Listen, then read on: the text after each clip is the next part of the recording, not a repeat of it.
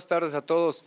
En realidad es complicado hablar de un porcentaje. Eh, me parece que hoy, hoy la concentración cumplió con, con el principal objetivo que era eh, que los jugadores se conocieran, que empezaran a convivir desde el punto de vista eh, de, humano y sobre todo desde el punto de vista futbolístico. Entonces, me parece que ese objetivo en esta concentración se cumplió y, realmente no me preocupa el porcentaje en, el que estemos. Eh, en términos generales estamos muy bien y, esta concentración sigue cumpliendo con, nuestros planes que tenemos y estamos satisfechos con eso. Buenas tardes, Raúl Guadalupe Flores de Univisión Deportes. Después de que cierra esta primera concentración, por llamarlo de alguna manera, ya con los 18 elementos que acudirán a Río, los jugadores nos decían en zona mixta que hubo un detalle en particular por parte de Oribe Peralta de traer su medalla olímpica y eso los motivó. Importante, como bien dice usted, en el sentido eh, emocional y personal, más allá de lo futbolístico que va implícito.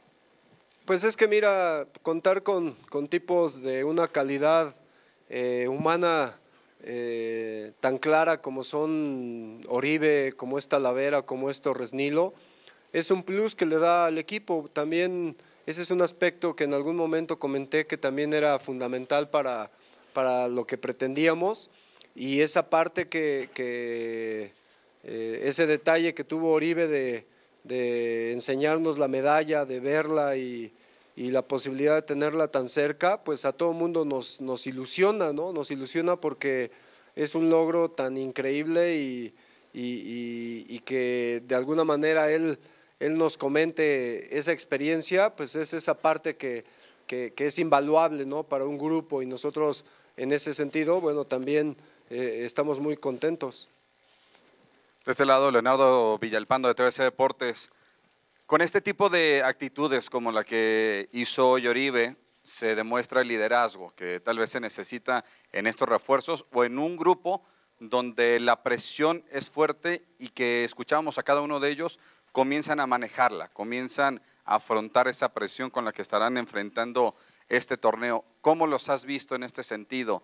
Como grupo, en lo individual, eh, ¿tienen esa posibilidad de mantener eh, la presión a un lado y enfrentar el objetivo que es la medalla? Pues es que siempre he pensado que, que algún tipo de presión es no tener dinero y no darle de comer a tu familia. Esa es una presión que te debe de, de, tener sin dormir y demás.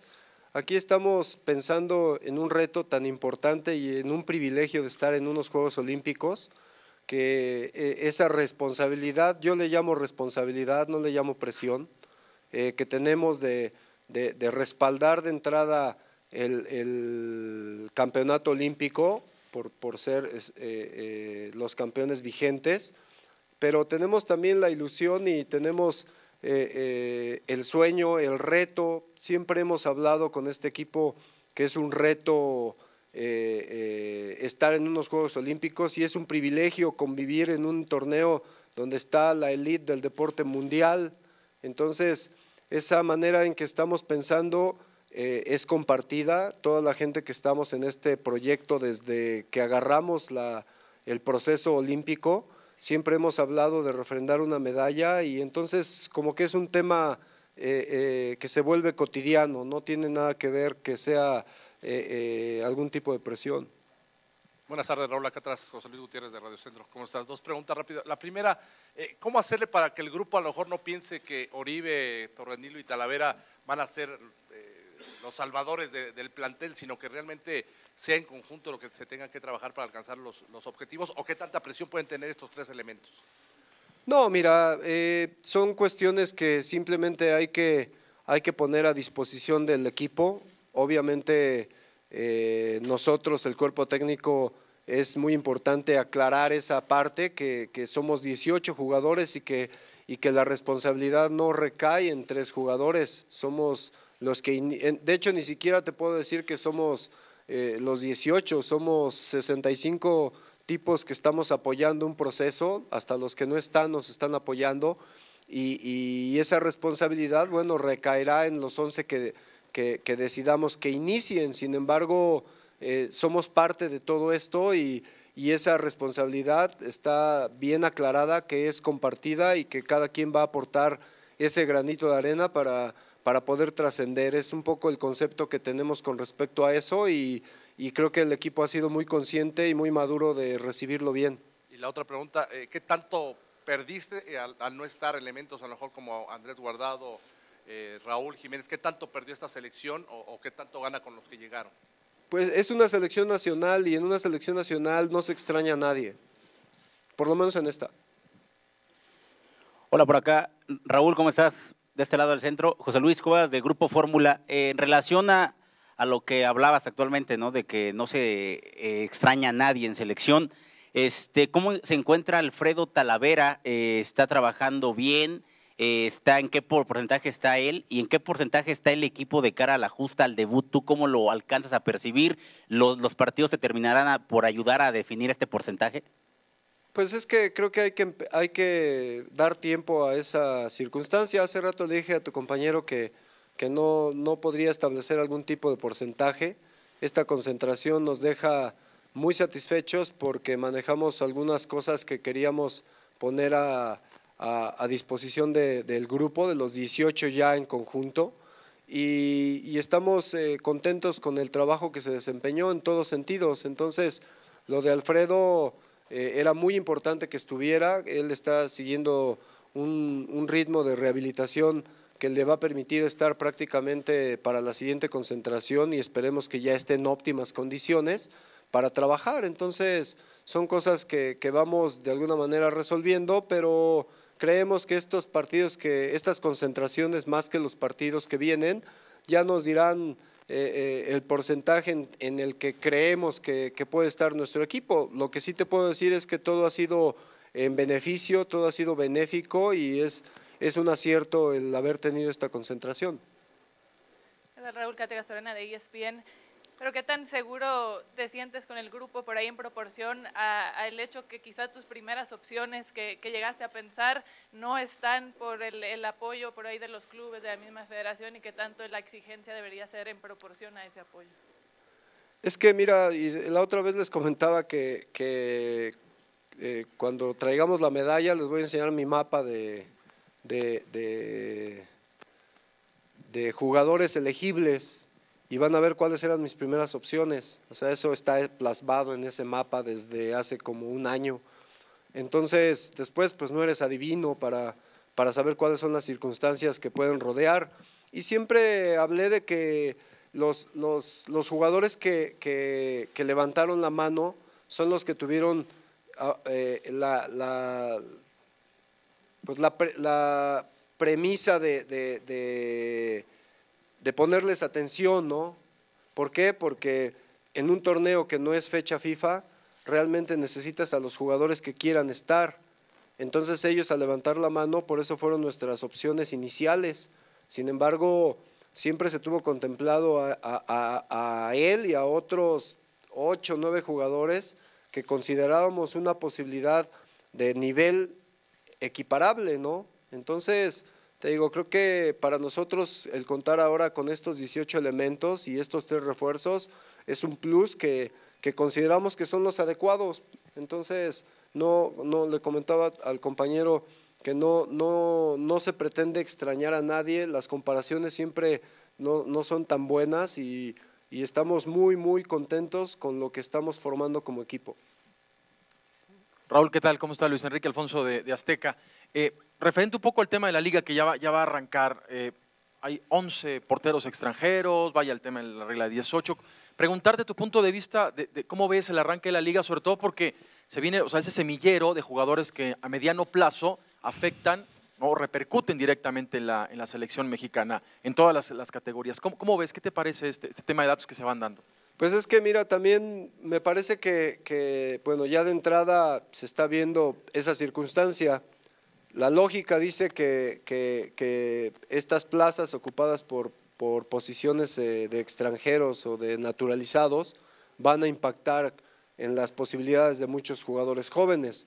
Sin embargo, uno siempre tiene la, la, la, esperanza que de esos 65 jugadores de la categoría sub-23 que participamos en este proceso, hay calidad para tratar de competir con, con ellos. Entonces yo creo que tendremos que esperar un determinado tiempo para ver el real impacto de, esta regla. Entonces, mientras tanto, bueno, nuestro mensaje sigue siendo de, de, de que hay que trabajar, de que hay que ganarse un lugar, de, que estos jugadores, muchos de ellos ya están en la plantilla de primera división y bueno, hay que empujar lo que tengas que empujar para estar considerado para una plantilla inicial.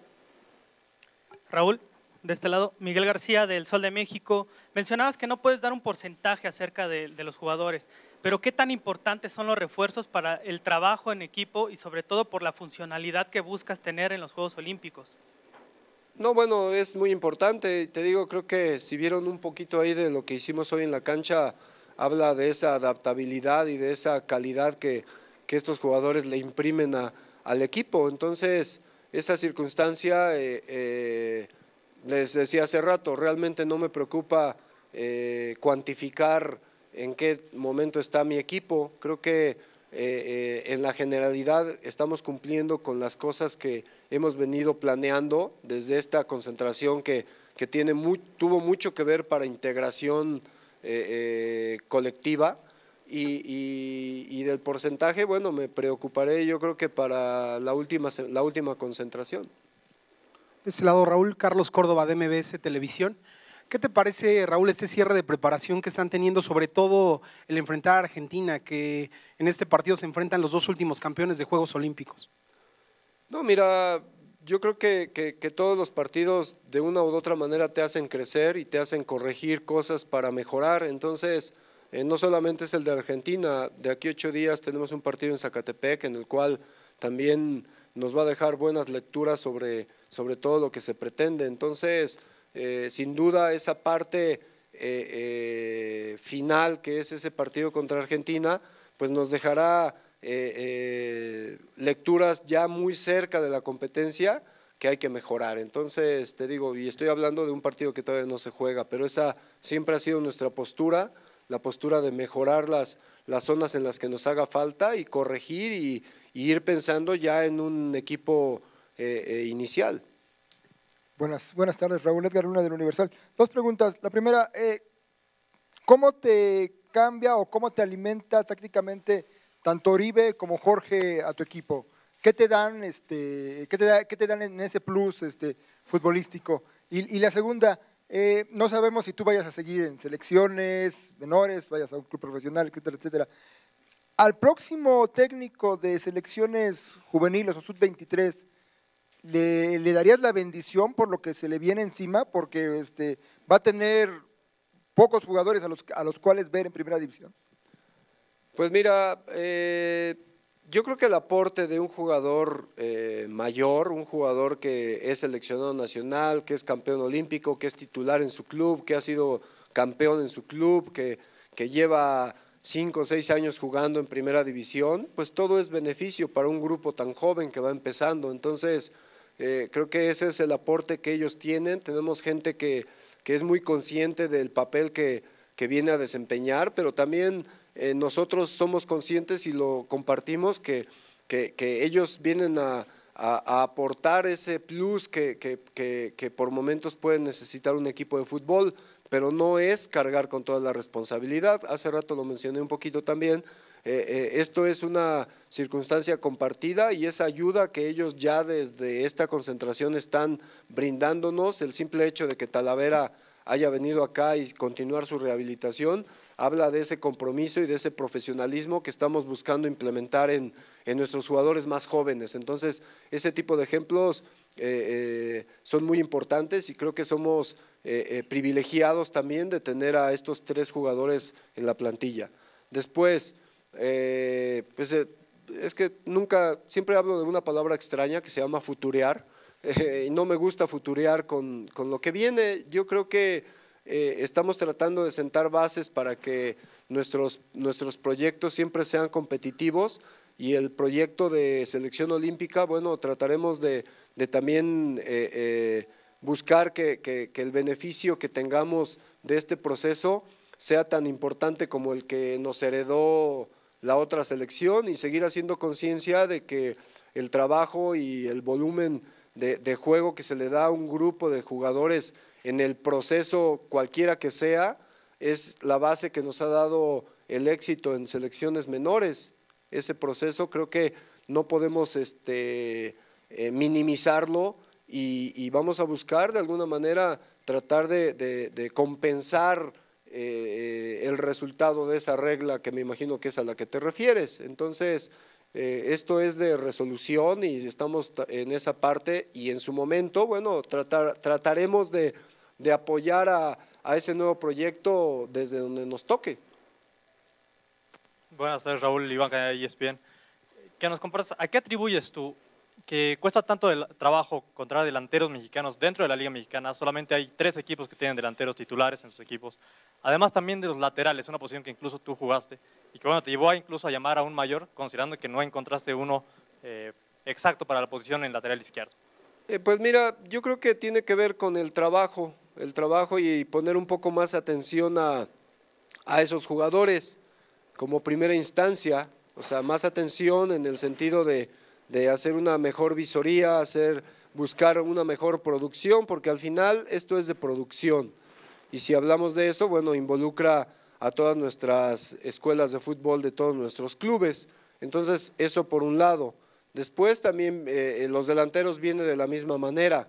Los delanteros son jugadores que, que hay quienes traen ese chip de delanteros, son goleadores, hay que pulirlos, hay que trabajarlos y acá lo más importante, hay que darles la oportunidad de jugar. ¿No? Se espera un delantero que, que, que, que rinda frutos pero no se le da el tiempo de trabajo. El mismo Saturnino Cardoso, antes, antes de ser el supergoleador que fue, estuvo cuatro años esperando en Toluca y le dieron ese tiempo y, y son cosas que a veces en la actualidad no se dan. Entonces, ojalá que esa misma oportunidad de tiempo de trabajo, de, de mantenerlo ahí, de convivir con la plantilla de primera división, pero sobre todo lo de jugar, se le dé a, a estos jugadores. Por acá, Raúl. Buenas tardes, Luis Olivo del periódico Esto. En cuanto a las preventivas para, para los Juegos Olímpicos, eh, a ver si nos puedes contar sobre las vacunas a las que van a, ser expuestos los jugadores, también eh, el evitar el consumo de carne, ya ves que el Comité Olímpico Internacional es muy rigorista en este tipo de detalles, si ya lo llevaron a cabo, los van a llevar, todo este proceso. No, mira, son cosas que se tienen en mente desde hace más de tres, cuatro meses, o sea, los jugadores que, que entraron en las últimas tres... Eh, cuatro concentraciones, ya se les había notificado, a, to, a todo el grupo se le había notificado que lo de comer carne de res pues ya estaba restringido para ellos y la mayoría lo ha venido cumpliendo. ¿Por qué? Porque precisamente estamos frente a un problema que, nos puede saltar un doping. Entonces, todo ese tipo de, de, cuestiones y de logísticas en cuestión a la preparación están totalmente contempladas. Hoy mismo Oribe, Talavera y, Lozano fueron a tomar la vacuna contra la fiebre amarilla, fiebre amarilla, que es una, una que, se requiere para viajar allá a, Brasil. Y estamos eh, de acuerdo a todos esos protocolos con toda la idea de, de, que el equipo no tenga mayor dificultad en, en ese tipo de, de cosas, ¿no? de, ¿cómo se llama? De, eventos que, que, tienen que ver con, con, con el doping. Raúl acá atrás, Orlando Castellán de Servicio Informativo en Deportes. Hoy tu selección llegará bien preparada a comparación de la otra selección olímpica porque tuvo más juegos y llegaron bien a punto. Tú tienes pocos juegos, ¿llegará a punto esta selección a, a estos Juegos de Río? Pues más nos vale, yo creo, ¿no? O sea, yo creo que, te digo, a veces las preparaciones son son distintas y tratas de compensar cosas para que tu equipo llegue lo mejor preparado posible. Creemos que, que, que, vamos por un camino, nos hemos ido, ido adaptando a circunstancias eh, en los diferentes tiempos, pero el equipo ha venido trabajando, ha venido mostrando cosas muy interesantes, ha venido mostrando conceptos que queremos para que, le, para que nos vaya bien en la competencia y seguro que pensamos que vamos a llegar muy bien.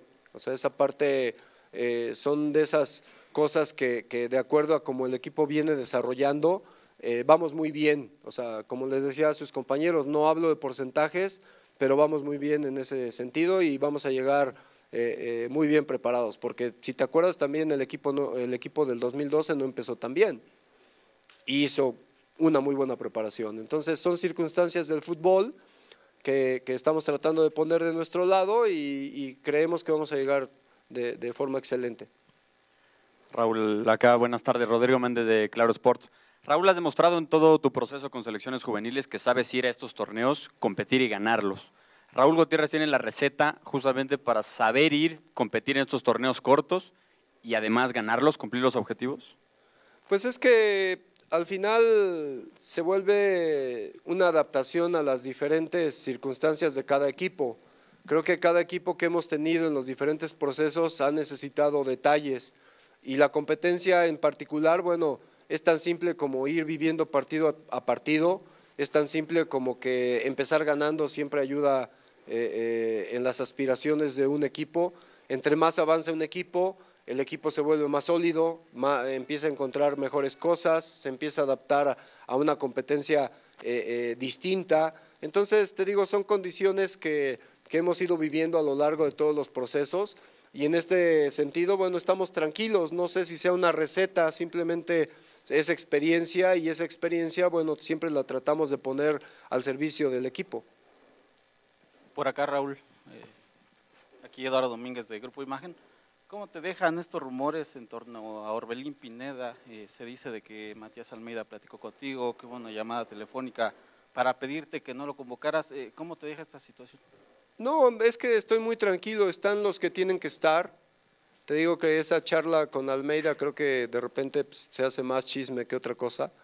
Y, simplemente fue ponernos de acuerdo y, y sí les puedo decir que que, que, la parte de Orbelín ni siquiera fue una situación a discutir. O sea, al final se decidió por un grupo de jugadores que considerábamos los más adecuados para, para, para nuestra selección y así se dio. Entonces, creo que ese tipo de dimes y diretes ni siquiera me preocupa, no, me dejan dormir o algo. Creo que hoy tengo un equipo que es el que quería tener desde siempre y estoy muy, muy contento con eso Raúl? Muy buenas tardes. Eh, Guillermo, abogado de Notimex. Raúl, con tu experiencia, tu vivencia en todas las categorías menores, junto con esta sub-23, ¿en qué has tenido más complicación para hacer una convocatoria sub-17 o esta sub-23? Digo, ¿nos podrías dar tu punto de vista? ¿Qué, qué similitudes ha habido? ¿Qué complicaciones?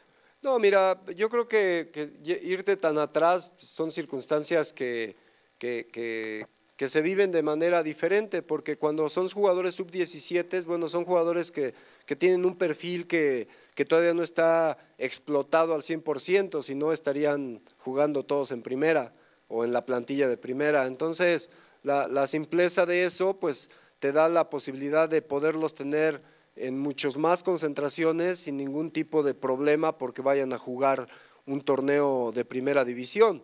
Y ahí está la diferencia. Hoy mismo Creo que la complicación eh, eh, sobre que los jugadores estén ya en sus equipos y siendo titulares y, buscando un lugar como figuras, complica totalmente. Y esa parte es a la que uno se tiene que, adaptar y ir encontrando diferentes caminos, ir eh, tratando de buscar jugadores que complementen a veces esas ausencias y la resultante, como decía hace rato, eh, son 65 jugadores con una posibilidad de jugar en primera división, pero bueno, tienen que ponerlos. Entonces, te digo, pese a que ha sido un proceso eh, complejo por esa circunstancia, estamos muy satisfechos porque hemos visto que hay calidad en la categoría sub-23 y no solamente son estos 18, estos 15 que están, sino todavía hay 50 por ahí atrás que que algunos equipos deberían de voltearlos a ver porque son producto de primera calidad. ¿Listo? Bueno, gracias.